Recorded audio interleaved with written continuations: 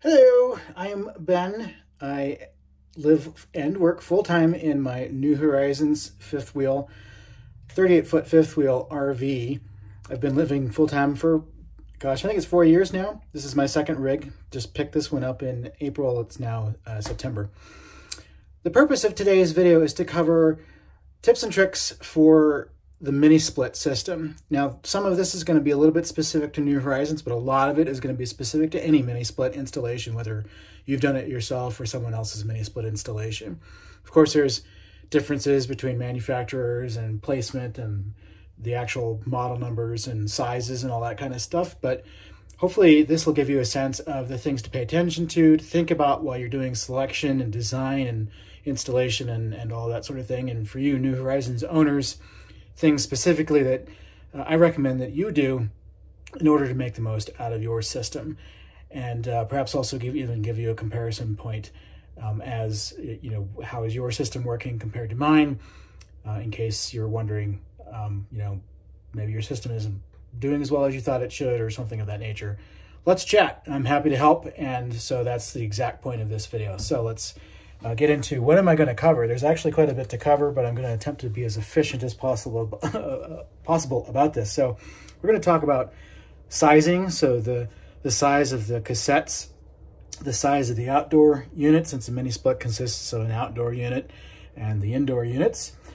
Some, uh, some tips and tricks around how to move air around, uh, setting the vanes, the angle of the vanes up here, like where the air should be going.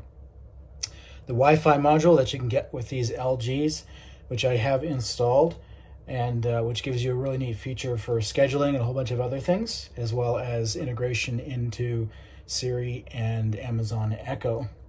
We'll talk about temperature settings and what the what settings that, that I use because they they can be a little bit finicky, especially in an RV situation temperature sensors, the ones that are built in versus ones that you can. You can get external uh, temperature sensors as well as thermostats, which also have sensors in them. And uh, that's something I plan on doing. I haven't yet uh, done, but definitely I think needs to be done. We'll talk about wall mount units. So these are the cassette units, which do have a protrusion in the ceiling uh, through the roof.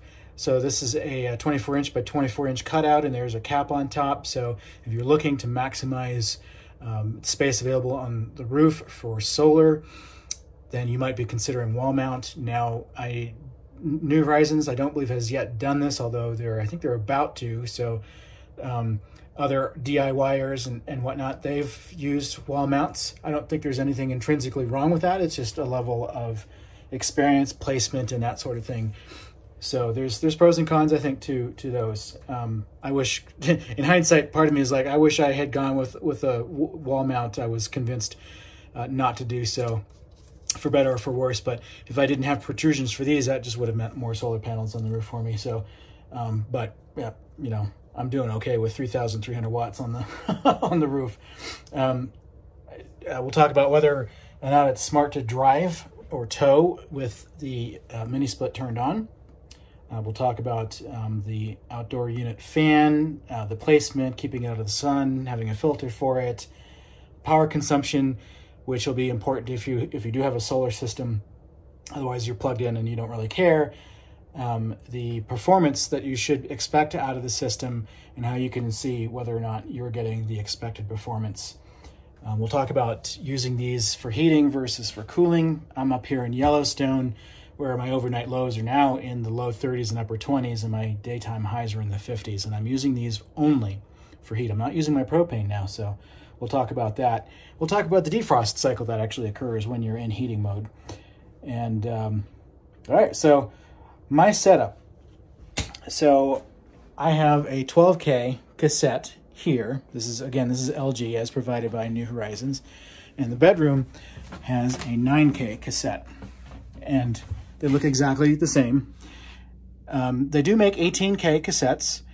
Uh, the, the difference um, is that the 18K cassettes require a different size line running back to the outdoor unit for the uh, refrigerant. No, that's not something you're going to change after the fact. It will be very difficult to change after the fact. So if you're on the fence about it, you might go with 18 over 12. During the installation time. And I'm going to give you some tips about that because you can make a mistake on choosing something that's too big. So 9K is the smallest they make for the cassettes. I'm not entirely sure if they go smaller than that on the wall mount units. But the cassette for the bedroom at 9K, um, you know, the standard sort of bedroom size here is more than sufficient. In fact, it's actually too big. And the fact that it's too big will cause problems with your system performance, and we'll talk about that.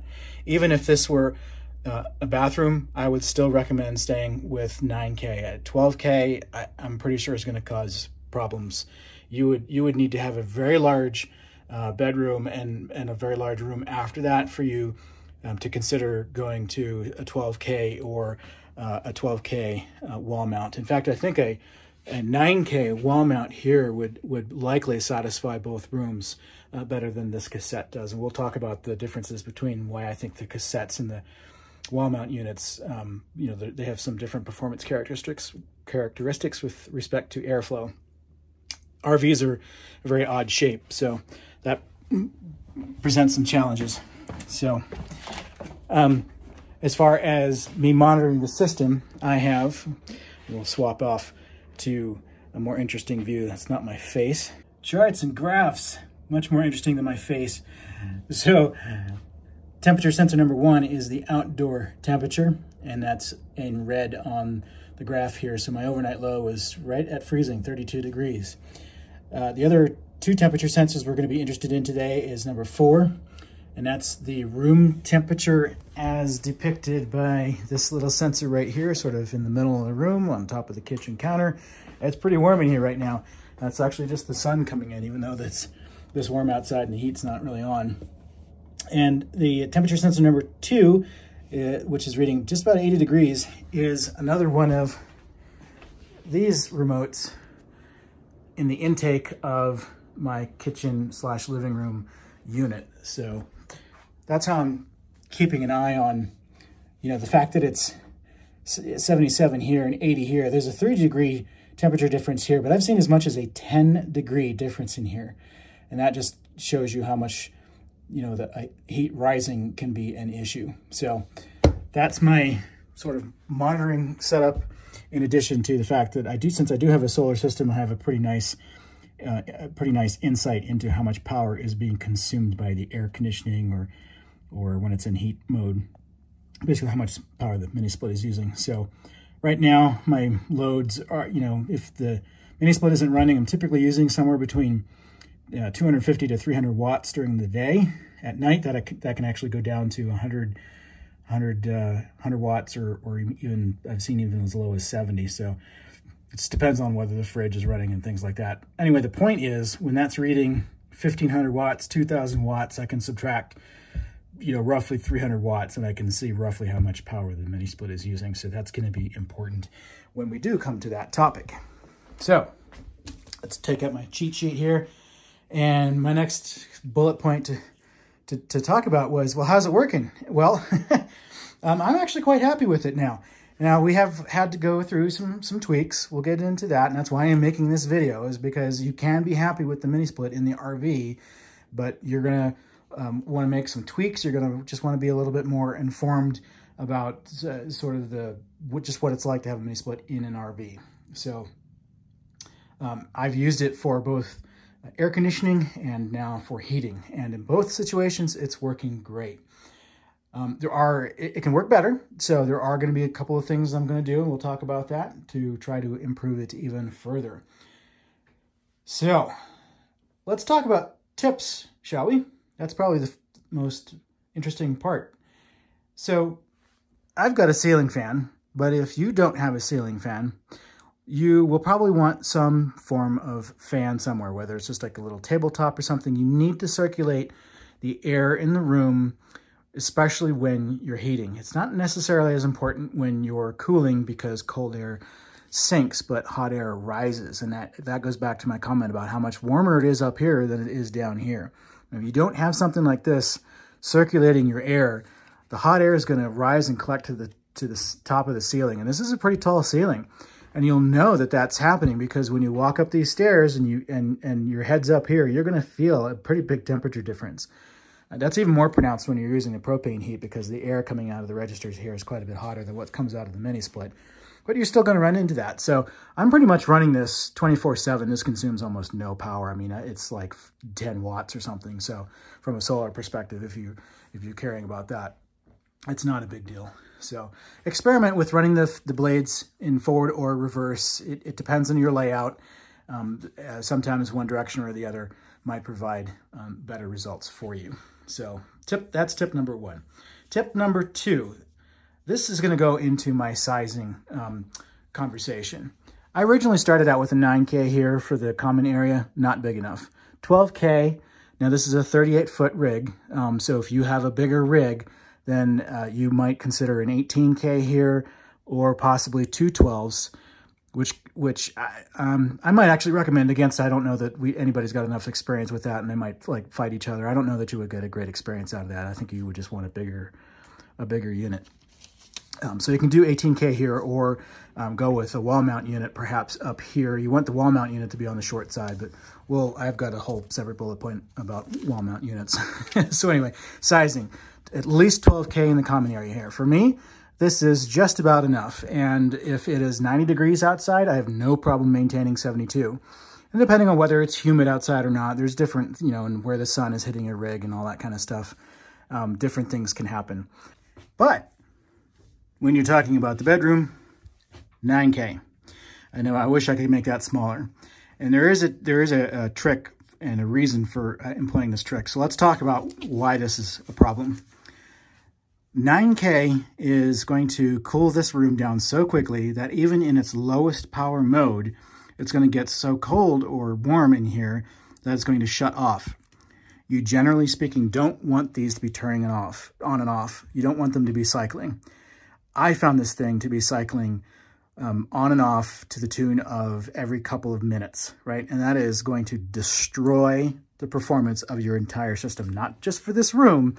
If this room starts cycling, that is not going to start putting out the uh, as cold or hot of uh, air as it's supposed to, and now that room is going to have a problem maintaining the proper temperature setting. So you at, you really need to prevent these systems from cycling on and off. So please do not make these bigger than they need to be.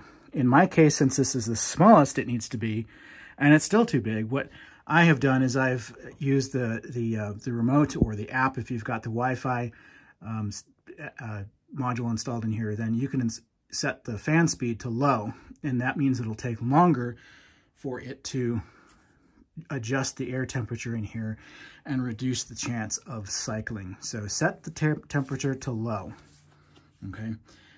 Um, temperature settings, and temperature sensors. I talked about the sensors and, and, and where, you, you know, so instead of having the temperature sensor built into here, that might actually be the best scenario for the bedroom. Um, this room is so small that I don't know where, at least with the cassette, right? Because the air is coming out in, in all four directions. If I put a temperature sensor anywhere along the wall line here, you know, except maybe like the far corner over here, but that's not great because that's an outside wall and it's kind of blocked. And you know, I, I, just, I have no idea where on earth I would put a temperature sensor in here.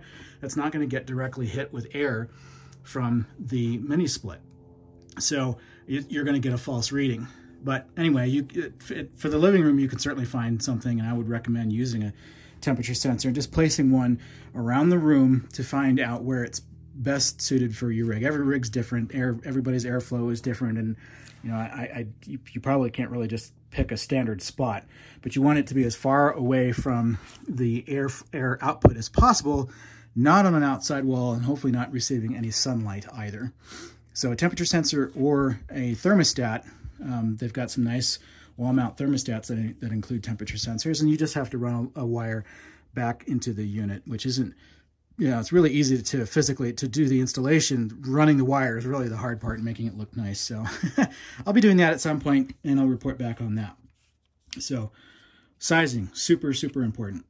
Um, in fact, that actually brings me to wall mount or not. Um, wall mounting here uh, would be challenging, right? This, for example, the slide out, if I had a wall mount here, the slide out would run into the wall mount unit. Um, the wall mount unit goes into the wall, so my pocket door wouldn't work. We'd have to, you know, go to a, a normal door. That's going to protrude into the bathroom. I mean, there's there's just design, physical design considerations involved in a wall mount unit.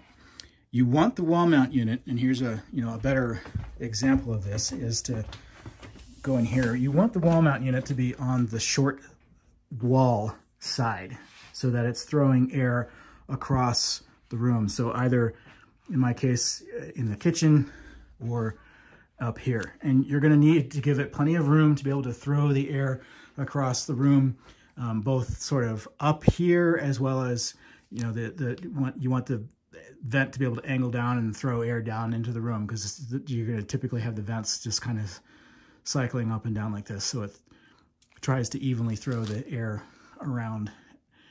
And I don't actually know where the intake for the wall mount units is, but you're going to need to leave plenty of room uh, around those so that it's sucking up air that needs to be conditioned um, appropriately. So you, you just, you know, you got to watch your the specifications, the manufacturer specifications for clearances and all that sort of thing, and just kind of think about what's going on in the room. Okay. Um, the reason that you don't want to put it on the long side is, first of all, it's not going to really reach the entire room. They do, the vents can, you know, cycle around like this, left and right as well, and that might cause it to, to reach out over here. But what's going to happen is the air is going to kind of hit the wall here and bounce back and get sucked back in kind of early, if you will, before the rest of the room is conditioned. So that's not going to give you as good of a performance. However, I will say that that is most likely going to provide better performance than having the four-way ceiling cassette here in the middle of the room because now what's happening is the air is coming out, you know, in all four directions, not very far, bouncing off and coming back in. And that is, trust me, happening because I've stood up there, I put my hand up there, and I can feel the air, the cold air coming back in. And of course, I can see what's happening using the temperature sensors. Now, you can avoid um, some of that a little bit, and I have done that in my case. You can, you can set the angle of the vanes on the sides where you're going to have that sort of blowback occur set them to be as closed as possible. You can't fully close them, but you can angle them to mostly closed. And that has resolved most of my issues. So that's a big uh, tip for getting these things to condition your room well. If you've got cassettes, go in and use the remote to set your vane angles. Now, hopefully you have the Wi-Fi module. And if you're doing a new build, request the Wi-Fi module. If you're um, if you've already got these, they're like 80 bucks a piece or something like that. Very easy to install. So let's go into the bedroom where I can actually reach the cassette. And I'll show you about the Wi-Fi module, and then I'll show you how to adjust this with the remote. So to install the Wi-Fi module, you're just gonna pull on these two things here, and this, this will pop down, okay? And there's, you'll see some, there's uh, some duct, not duct tape, but ducting tape here. And um, that's actually a good thing. If you if you don't have this, you might want to you might want to employ this because what happens is the angle of the installation due to the angle of the roof was causing me to not have a good seal between the ceiling and the uh, and the cassette itself. So air from here would internally cycle right back into the unit because there was a, there was a gap here that allowed that to occur. So we had to seal it off here. So anyway, I'm not gonna, because of because this is all taped up right now, I don't wanna pull that tape off, but all you have to do is remove these two screws. You're gonna uh, take the wire from this, it's basically just a USB uh, plug, and you'll find the connector in here. It's it's documented, the, the, the picture in the documentation is wrong, but the, the label of the connector is, cor is correct. It's a very small label, so you're going to need a flashlight and some good eyes to find it. I wish I could easily take this off and just show you exactly where it is, but plug that in. Uh, and then you plug in, um, you you see this moves around. So this is just a USB connection to this, and this is just the, the holder, double side sticky tape. And that's it as far as the physical installation is done. And then to get it working, I actually had to Google this. It's not in the documentation anywhere, um, but you have to press uh, actually, I'm not remembering the buttons to press now. You press two buttons at the same time for a long period of time. I wish I could remember. You'll have to Google it. I'm sorry. Uh, maybe I'll Google it and put it in the description for you. you and uh, you press them for a long period of time, and that puts this Wi-Fi module into pairing mode. You'll hear a, a beep, and I believe it starts blinking. And then once that's in pairing mode, then you can open the app and add the uh, the the uh, Wi-Fi module. It's it's clear as mud. Um, it was probably the most painful part of the setup. It took me uh, probably 45 minutes to to get through that and figure it out the first time. The second time was was a piece of cake once I knew what I was doing, but goodness, the documentation is horrible. So anyway, vane angles. So here's the remote and the top, sort of the top left of the remote, right underneath the battery indicator is what we're gonna pay attention to the most here. So right now, there is no symbol up there right now. We'll just, we'll just keep saying right now until it gets really repetitive. if I press swing, okay, and I'm just gonna, I'm gonna point this at the wall so I don't actually uh, cause that to occur. So I'm just gonna press swing, eh, right, and you can, because this is an infrared remote, right, I'm blocking the infrared signal, so let's get out of the light if I can here. Now you can see the icon. Okay, that's gonna cause the vanes to swing up and down. Now there is another swing mode here. That doesn't apply to the cassettes. This would apply to a wall mount unit or some other unit that has uh, a side-to-side -side capabilities, right? And we don't have that. It's only up and down. So you, you can press this and, the, and another icon will show up, right? But but it's not gonna it's not gonna do anything. So we're gonna we're gonna shut those two off. We don't want that in an RV. Uh, as much as you might think you want that, you don't because that's just to cause the air to feed back into itself, and that's just that's to be a major cause of system performance problems. What you do want to do is manually set your vane angles. So I'm going to press vane angle here, and we're going to look. Now, this is actually on right now, but uh, the, the vanes are in a particular location or direction right now, and they're not moving. So, so as soon as I press vane angle, you hear the beep. One of the vanes will move all the way open, and then go back to its set point. Now, in, in, that's actually different than it was before, but, but, but on the remote, the set point is, is different than I had it set on the app. So the set point, you can see, if we look real closely here, you can see that there's a line that's gonna move. I'm gonna use the temperature up and down buttons. That line moves, right? That's the angle of the vent. So if I, am gonna put it uh, all the way open here, and now you can see the vent is all the way open. And if I move it up, right, it moves that, that vane. So the blinking line here is meant to indicate which vane you're moving, but I mean, it depends on how you're, you know, which way you're looking at this. So it's kind of hard to know which one's which. But once you've oriented yourself to the first one, it gets a little easier. Of course, you're going to press vane angle again, and now another one's going to blink, but you don't know if it's going to be the left one or the right one, but in this case, it ends up being the right one. And so it'll do the same thing, open up and then go back to its set point. So wait for it to go through that, that fate, that sort of uh, phase of, I don't know what you want to call it, just be patient. and um, now we can adjust its vane angle, right? Similar sort of situation. If I push the button, it moves, right? And so you basically just, you just go through all four of those settings. And now that I've made my settings changes, I press vane angle again. Now all that goes away and it doesn't look like you've actually set anything, but you actually are done and you, you have set the vane angles and they are set the way you left them. The only time, uh, there are three times when those uh, will change that I have observed. Number one, if you shut the unit off, uh, the vanes will all uh, close.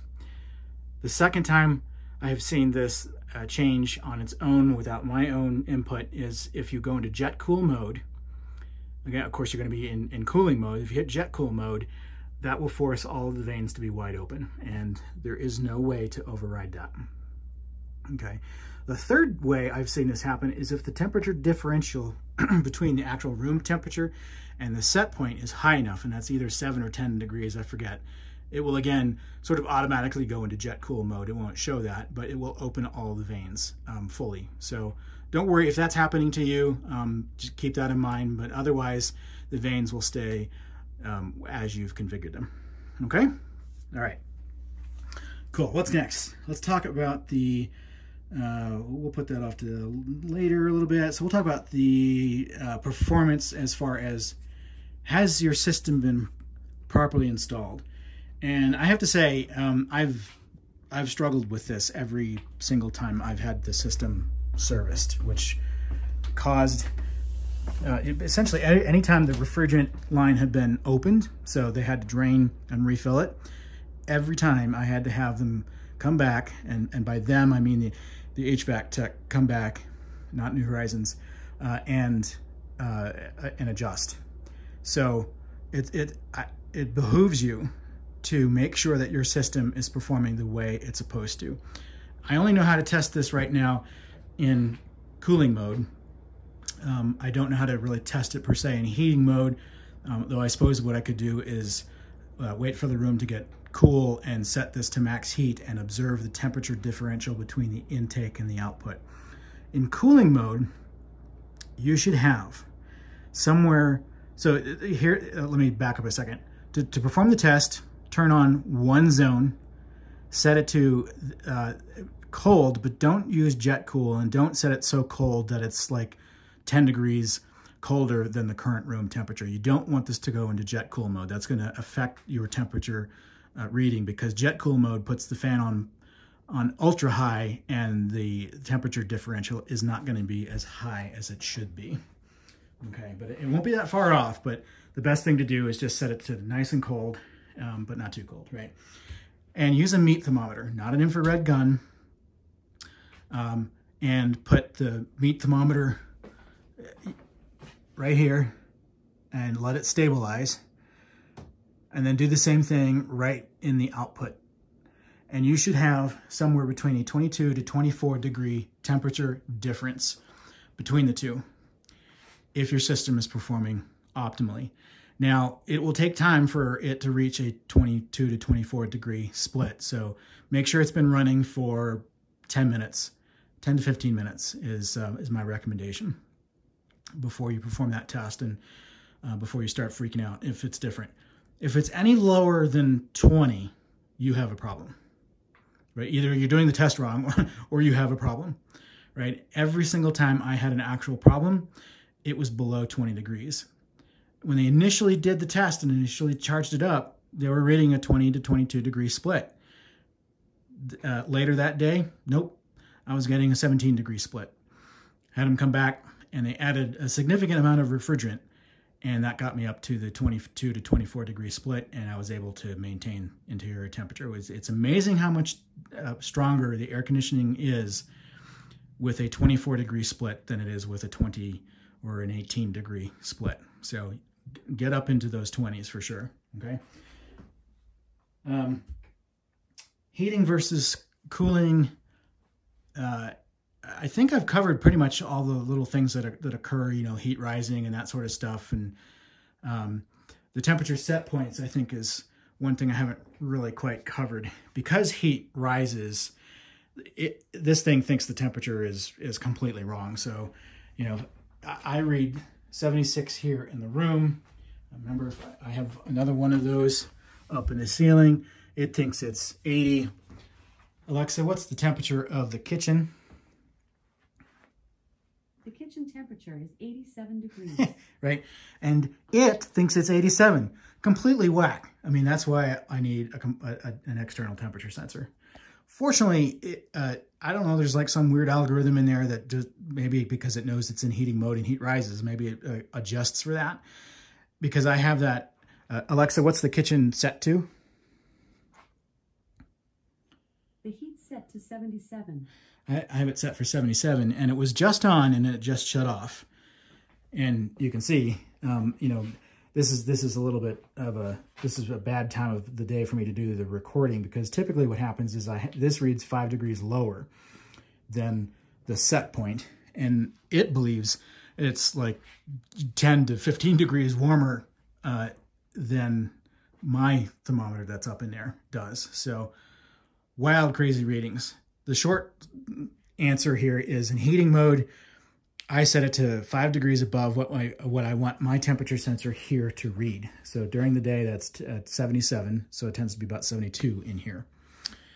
In cooling mode, it's a little bit different. Um, the temperature spread it can change depending on the sun and, and that sort of thing. In fact, that's what actually what's happening right now is uh, the sun has caused my temperature to come up in here. The, having the sun come in through windows and hit the side and all that sort of stuff, it's amazing how much that heats up the rig. Despite how well insulated the New Horizons units are, that's still a huge factor and is definitely a huge factor from a cooling perspective. Anyway, I tend to set that to a two to two to three, two to three degree temperature uh, uh, degrees lower than I want my actual temperature to be. And as the night comes around and the sun isn't hitting the rig, it will actually maintain the temperature you set it to. So that ends up being too cold. So I do have to adjust it uh, throughout the day, unfortunately. So uh, some tricks with respect to that. Um, there is a, from in heating mode, there is a defrost cycle that will occur uh, for those of you who are uh, who don't have solar systems, you won't care about that too much, except that you will occasionally hear the compressor running at, at full speed, like way higher than you would would hear it, even if you turn both zones on maximum. It goes even faster than that, and it consumes uh, a fair amount of power. And instead of cold air coming out of the outdoor unit, uh, there'll be warm air coming out, and um, that's normal. That's just a defrost cycle for those of you who do care about the numbers, for solar uh, power purposes, the defrost cycle is con consumes like 2,700 watts. It's it's pretty insane.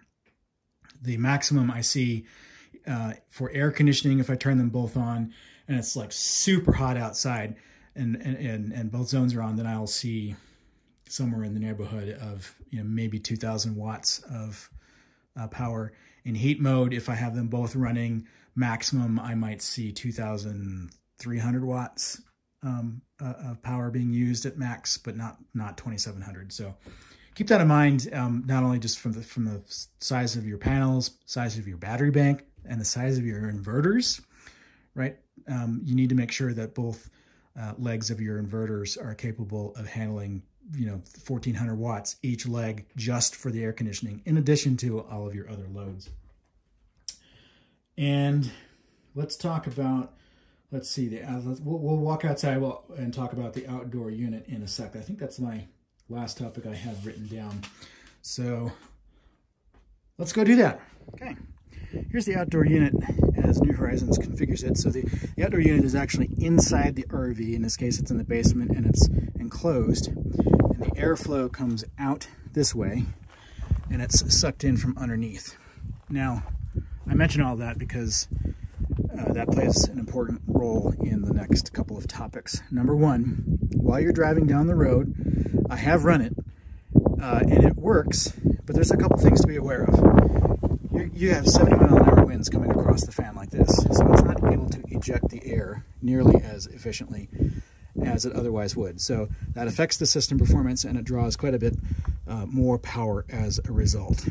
So I try not to do it unless I feel like I need to keep the interior uh, cool so that I, I don't have to wait uh, you know a couple hours to get the interior temperature down. But now that the system is is properly charged up and, and performing the way it needs to be with all the my tweaks and things like that, that's really not as much of an issue. So I don't I don't really feel the urge to keep the system running while I'm driving. The second reason that's not necessarily the best idea. Again, it's not going to hurt really anything, um, but the there is no filter underneath. So if you're on the highway, if you're on uh, pavement, not such a big deal. If you do end up driving down gravel, dirt road, you know, plenty of campgrounds are, are dirt. Doing boondocking like I am, you're definitely driving down dirt. The dust that's being kicked up from the truck and whatnot is going to go up in into your quads here and prematurely clog them. Again, it's not going to damage something, but you're gonna have to get in there and clean a lot more often and uh, check that a lot more often. So just keep that in mind. And the last thing, and you can kind of see this by the shadow being cast here, is sun can go in there and make the, the, the, yeah, the outdoor unit. Not such a bad thing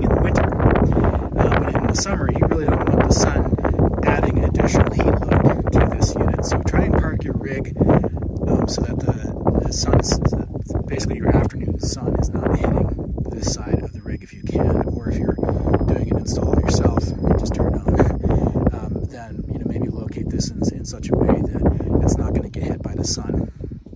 And actually, one more thing, uh, if it's windy, and I, I, I, encountered this in the Badlands a number of times, if the wind is traveling in this direction towards the fan, and it's strong gusty winds, 20, 30 miles an hour, then that's going to back feed the fan and the fan will not be able to push the air out. It's not gonna be able to cool or warm those fins up like it's supposed to be able to. Your system performance will suffer, your interior temperatures will suffer.